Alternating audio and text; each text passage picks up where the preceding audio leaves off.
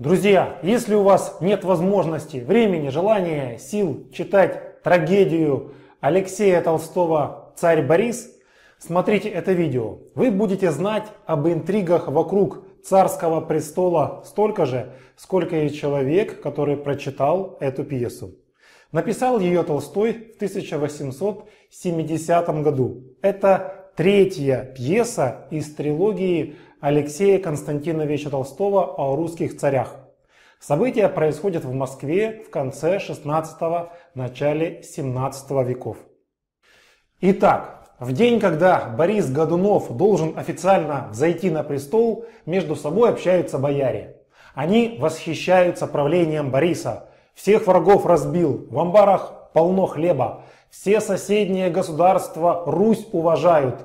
Не то, что при Иване Грозном и его сыне Федоре. И народ Годунова любит. Боярин Салтыков говорит, что послов сегодня тьма, всех принять нужно. Борис типа долго не соглашался занять престол. И только когда владыка пригрозил отлучить его от церкви, он, так и быть, согласился стать царем. Бывшая царица Ирина, сестра Годунова, после смерти государя Федора постриглась в монахини, и Бориска был рядом с ней, Богу молился. Ждал, когда его уговаривать начнут. Уговорили. Годунов официально стал царем Руси. Борису докладывают, что сибирский царь повержен. Теперь Сибирь снова русская. Рядом с Годуновым сидит сын Федор, которого царь с малых лет готовит на престол после себя. Первым из послов царь принял английского посла. Тот предлагает во славу двух народов породниться. Есть на примете девушка для царевича Федора. Спасибо вашей королеве, но молодой еще мой сын о браке думать. Давай подождем. Следующим Годунов принял папского нунция. От имени Папы Римского тот предложил объединить церкви. Окей, Подумаю, спасибо. Следующий. Австрийский посол просит у царя военной помощи против султана. Эй, нет, пацаны, вы в прошлый раз нас кинули. Просили деньги на войну, мы вам их дали. А потом королем поставили не того, о ком мы договаривались. Если вся Европа встанет против султана, то и я помогу. А один против него биться не стану. Но Ладно, деньгами помогу, а вот войском нет. Самим нужно свои кордоны беречь. Литовский посол предлагает земли поделить и мир заключить. Те все земли наши. Передай своему королю мой пламенный привет. Скоро и до него очередь дойдет. Шведский посол просит помочь ему в войне с литовцами. Не вопрос. Если вы признаете Ливонию и Эстонию нашими, тогда да.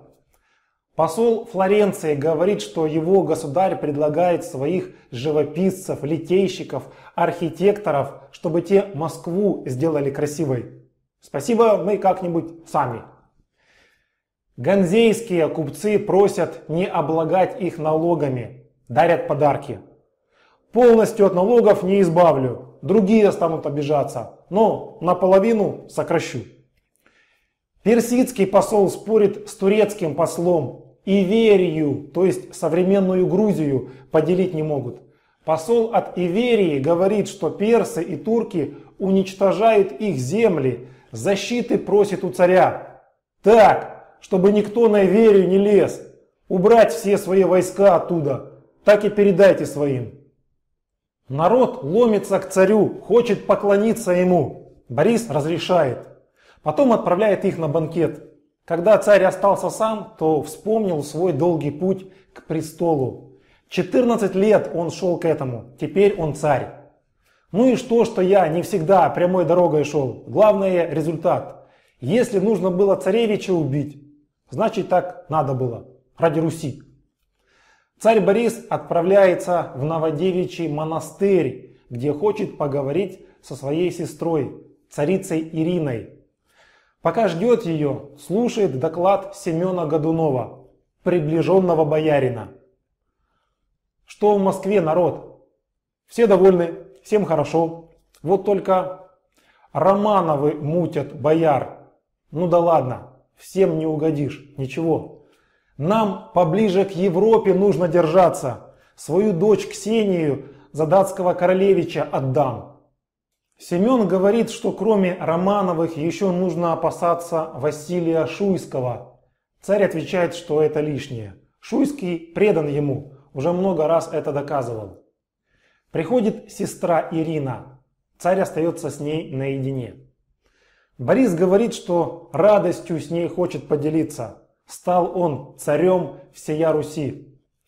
Рада за тебя. Ты самый достойный среди всех быть царем. Молодец.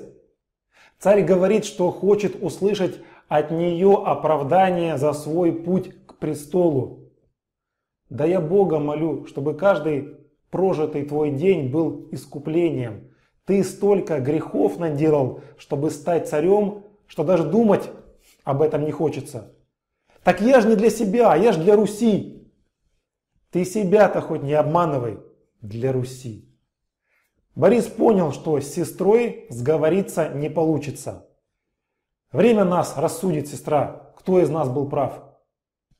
Во дворце царевич Федор с царевной Ксенией просят ее жениха, датского герцога Христиана, рассказать о себе. Да особо рассказывать нечего. Отец мой, король, когда я был ребенком, отправил меня зачем-то в Норвегию.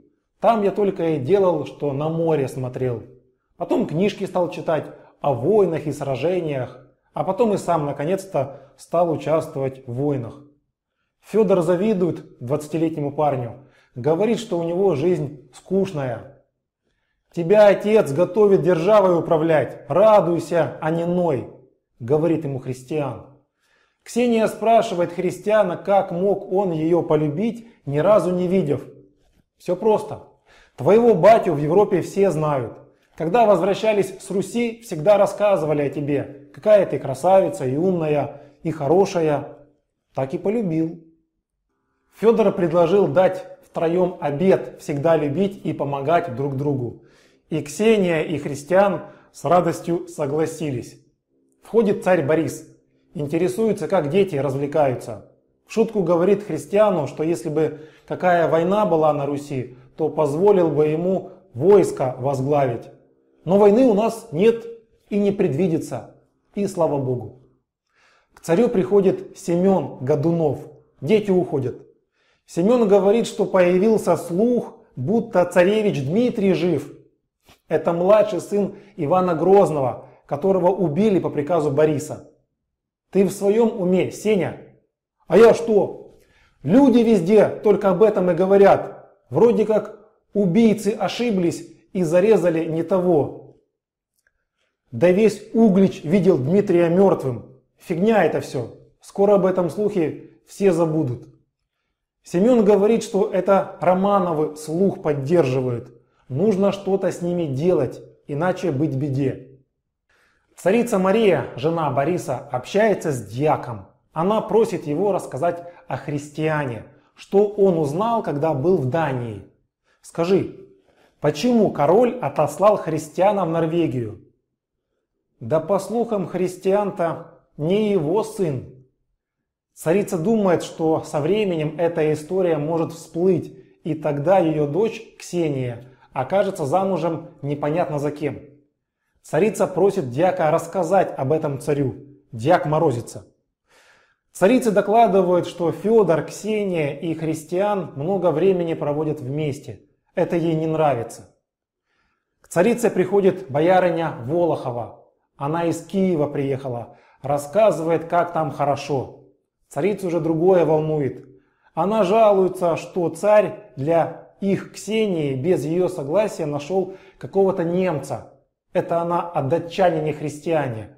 Мол, православных женихов полно, а он... Послушай, он приворожил мою Ксению и Федора и царя. И это она на полном серьезе. «Помоги!» В лесу среди разбойников атаман Холопко принимает в свои ряды очередных крестьян, которые убегают от своих хозяев. К атаману приходит мужик, говорит, что пришел по поручению царевича Дмитрия. Предлагает ему примкнуть к армии будущего царя, потому что враг у всех один общий – Борис Годунов. Пока Хлопко думал, его дозорный Митька приволок двух монахов – Михаила и Гришку Отрепьева. «Вы кто такие?» – спрашивает атаман. Монахи типа «В моем лесу какого черта? Пришли к тебе, возьми нас!» Дубинами и кулаками махать умеете? Нет. Тогда нахера вы мне нужны? Победите вдвоем дозорного Митьку, останетесь. Мужик решил заступиться за монахов. Сказал, что он один будет биться с Митькой, а Митька здоровый. Ну и победил мужик этого Митьку.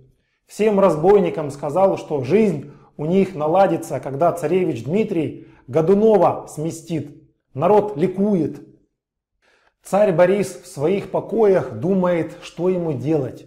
Какой-то самозванец заручился поддержкой литовской шляхты и пошел на Москву.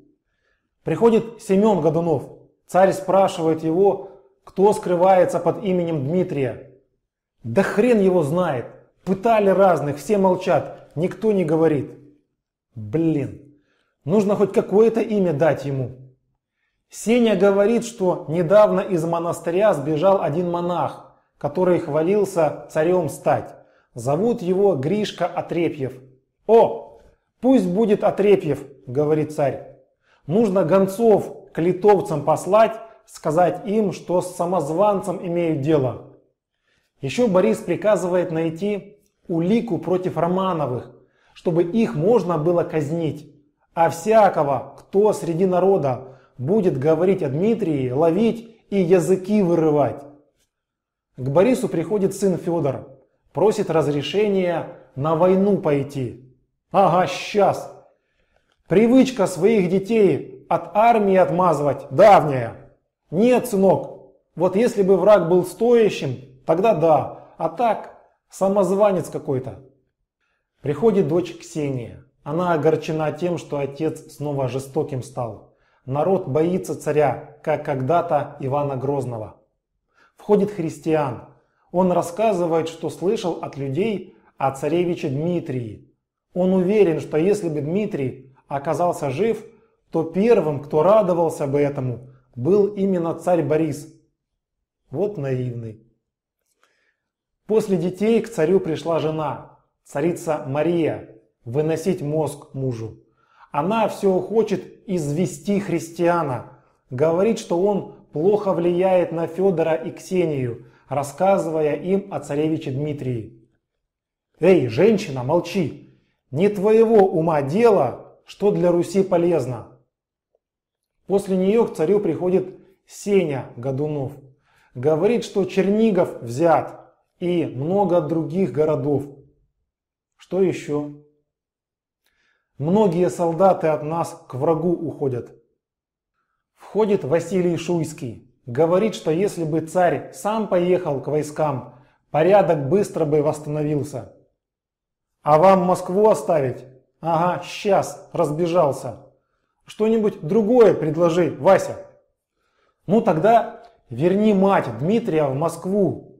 Пусть она всем скажет, что ее сын мертв.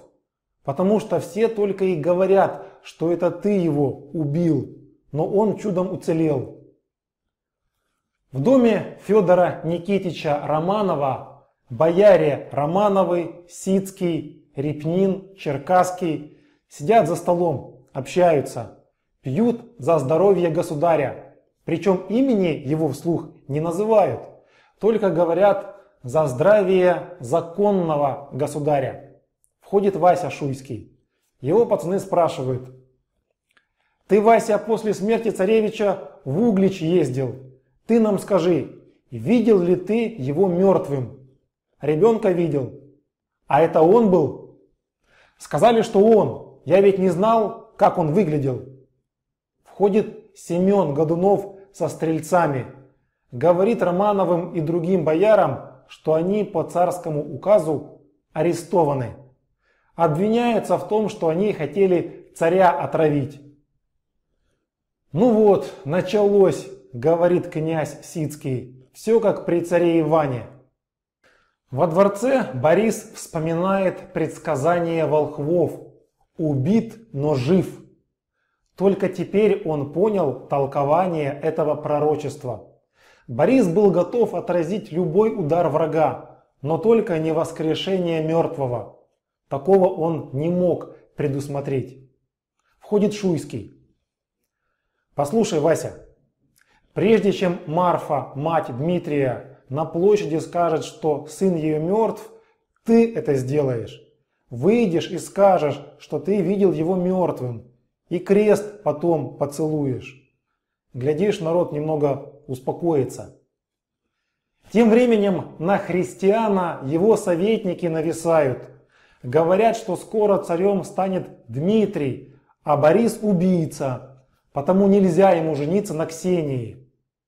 Христиану становится дурно. Советники уходят, появляется Ксения. Он ей говорит, что им придется расстаться.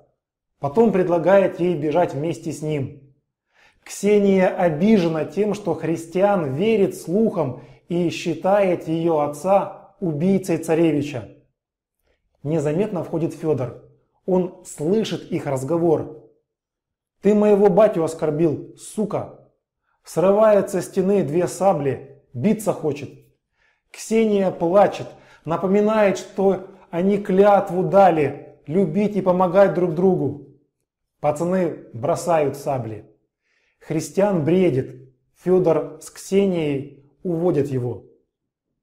На Красной площади стоят переодетые сыщики. Они хотят втереться в толпу народа, которая выйдет из церквей, чтобы подслушать их разговоры и арестовать тех, кто будет о Дмитрии говорить. Какие-то мужики подходят к переодетому сыщику. Спрашивают, умеет ли тот читать, и дают ему листовку, которую нашли. Там было о царевиче Дмитрии. Мужиков сразу схватили. За них народ заступается, а сыщики всех без разбора арестовывают. Появляется Вася Шуйский. Он речь толкает. Говорит, что самозванец Гришка Отрепьев, заручившись поддержкой литовской рати, идет к Москве а уверен он в том, что Гришка самозванец, потому что он сам после смерти царевича был в Угличе и видел тело ребенка с перерезанным горлом. В том, что Гришка Отрепьев не Дмитрий, клянусь вам и целую крест. Народ расходится, понимая, что царь боится потерять престол. Во дворец прибыла Мария Нагая, это последняя жена Ивана Грозного, мать убитого царевича Дмитрия. Она вспоминает, как 14 лет назад люди Бориса Годунова убили ее сына. Мария твердо решила признать в самозванце своего сына, чтобы он отомстил Годунову. К ней подходит царь Борис. «Царица Мария Федоровна, приветствую тебя!» «Не царица я, по твоему же указу меня постригли в монастырь. Марфа я теперь!» Слышала о царевиче? Конечно. Когда я сына увижу? Боря. Мария, ты что? Упал на нож он 14 лет назад. Зарезан был, ты хотел сказать, Боря. Я тогда была без чувств, не видела я мертвого сына. Его весь Углич видел, а я не видела. Ты же в церкви у его трупа молилась. Ой, Боря, тяжко мне тогда было, Слезы хорошо видеть мешали. Теперь мой сын жив, я это точно знаю. Входит царица Мария. Говорит, что она слышала разговор их за дверью. Так стало быть, тот мертвый ребенок в Угличе не твой сын? Да, не мой. От ваших рук он был спасен. Окей, говорит Борис. Скажи, где же Дмитрий тогда был все это время? А я знаю. Какая мне разница? Он сейчас жив и скоро тебя вышвырнет. Тогда царица зовет Волохову, ту самую няньку, которую подослал Борис, чтобы она убила царевича. Марфа узнала ее и закричала, что на ее руках кровь Дмитрия, будь проклята она. Царица говорит Борису, что можно и без пыток нужную информацию получить. Мертв Дмитрий. Царь говорит Марфе, что если бы он мог вернуть прошлое, то сделал бы это, Но это невозможно. Нужно о настоящем думать. Признай всенародно, что твой сын мертв. А хера тебе, Боря. Ты одного моего сына убил, а другого я сама признаю.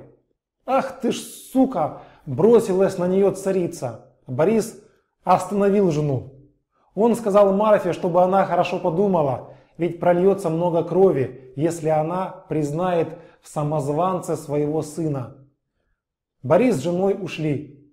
Оставшись сама, Марфа просит у своего сына прощения за то, что вынуждена в другом его признать. Борису сообщают, что христиану худо, умирает парень. Он очень просит врачей поставить его на ноги. Это очень важно для него. Царь расстроен. Он-то думал браком Ксении и христиана соединить Европу с Русью. Видать, не судьба. Входит Сеня Годунов. Ну, какую хрень ты мне сейчас расскажешь? Тебе письмо от самозванца. Сеня читает. Дмитрий Иванович пишет, что если Боря сам престол отдаст, то его помилуют и в монастырь отправят, казнить не будут. Царь опечален. Он понимает, что народ его не хочет, народ ждет Дмитрия. Борис говорит, что нужен кто-то, кто сможет поклясться, что видел царевича мертвым. Давай Васю Шуйского позовем. Не верю я ему. Тогда позови Клешнина, который с Шуйским в Углич ездил. Он сейчас в монастыре. Окей, тащи его сюда. Царю сообщают, что королевич христиан умер. Ночью по дворцу ходит царь. У него бессонница, да и с головой уже что-то не то. Ему кажется, что на его престоле кто-то сидит. Рядом стоят два часовых. Им страшно видеть безумного царя. Входит Сеня Годунов. Он привел Клешнина, того самого, который видел царевича Дмитрия мертвым. Клишнин заверяет царя, что Дмитрий мертв. Именно поэтому он ушел в монастырь. Грехи замаливает. То же самое он советует сделать царю. Утром Борис говорит своему сыну Федору, что сегодня он будет венчать его на трон, а бояре принесут ему клятву верности. Нет, бать, не могу я, права не имею. Царевич Дмитрий, вот кто истинный государь. Борис говорит сыну, что царевич мертв. Он это точно знает. В Москву приезжает воевода Басманов, который разбил войска Лжедмитрия. Вот только тот спасся и снова готовит новую армию. Басманов восхищается отвагой Лжедмитрия и жалеет, что в Москву позвали, а не дали добить врага. В благодарность за победу царь дарит Басманову свою шубу и признает боярином. Царь требует от бояр принесения клятвы верности своему сыну Федору. Те клянутся. Сказав это, царь шатается и падает. Он успевает сказать еще несколько напутственных слов боярам, Басманову, сыну и умирает. На этом трилогия Толстого о русских царях заканчивается.